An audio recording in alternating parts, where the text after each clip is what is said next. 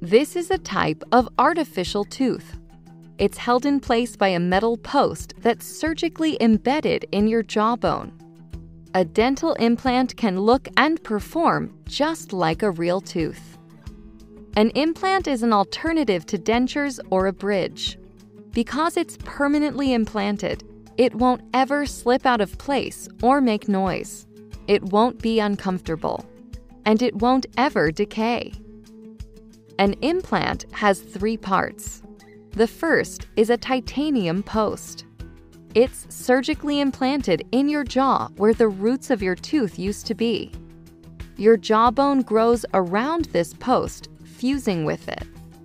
The second part of the implant is called an abutment.